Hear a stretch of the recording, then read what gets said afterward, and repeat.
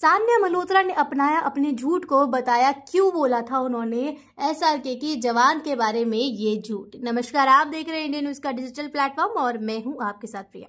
हाल ही में जो है सान्या मल्होत्रा को बहुत लंबे समय से सुर्खियों में चल रही है। सान्या मल्होत्रा की अपकमिंग मूवी को लेके, जिसका नाम है कटहल, जो कि ओटीटी पर रिलीज़ होने वाली है, जिसको लेके वो बहुत ही लंबे समय से सुर्खियों में चल रही हैं। इसी बीच में जो है मूवी के प्रमोशन के दौरान वो कहीं दिखाई देती हैं तो कहीं मीडिया के अंदर या कॉलेजेस में मूवी के बारे में कई सारी बातें करती हुई भी नज़र आती है। अपनी मूवी को लेके वो बहुत ज़्यादा एक्साइटेड भी है। इसी बीच में जो है प्रेस ने उनसे कुछ सवाल पूछे थे, जो कि कुछ इस तरीके से थे। वो सवाल थे कि क्या वो जवान में दिखाई देंगी? क्या उनका कोई रोल है जो जवान में दिखाई देने वाला है? जिसके बारे में सान्या मल्होत्रा ने कहा था कि ऐसी अफवाहों के बारे में मुझे नहीं पता कि आपको कहाँ से मिल रही हैं। मगर ये सब बिल्कुल झूठ है और ऐसा कुछ भी नहीं है। मैं नहीं होने वाली जवान में।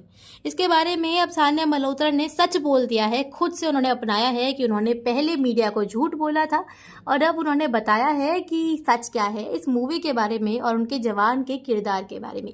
आपको बता दें, सालिया मल्होत्रा ने अपनाया कि वो जवान में दिखाई देने वाली हैं और अपने रोल के बारे में उन्होंने बोला कि इस मूवी में जो कि अटले डायरेक्ट कर रहे हैं, इस मूवी में उनका बहुत ही अच्छा रोल होने वाला है, वो पर्दे पे दिखाई देंगी और उनको वो कैरेक्टर बहुत ज़्यादा पसंद है। उन्होंने बोला कि मैं पहले इसको एक्सेप्ट नहीं कर पा रही थी क्योंकि मुझे लगता था कि उस टाइम पे एक्सेप्ट करना सही नहीं है, मगर अब मेरे को लगता है कि मुझे एक्सेप्ट करना चाहिए। हाँ मैं जवान में दिखाई देने वाली हूँ, मेरा रोल भी बहुत अच्छा है। अगर बात करें मूवी को लेके उन्होंने क्या कहा तो उन्होंने बोला मूवी बहुत ही यूनिक है और बहुत ही अच्छी बनी है और जिसके बारे में मैं भी एक्साइटेड हूँ।